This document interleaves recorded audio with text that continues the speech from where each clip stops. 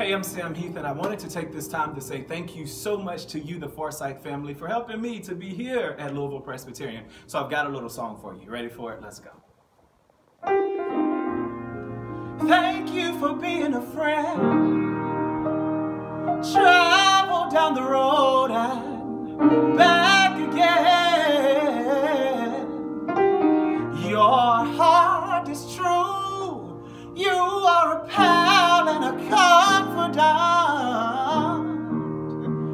If you're throwing a party, you can invite everyone you know.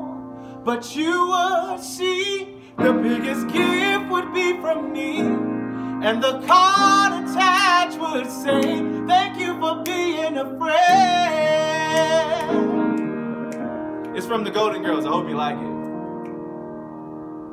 Thank you for being a friend. Down the road and back again. Your heart is true.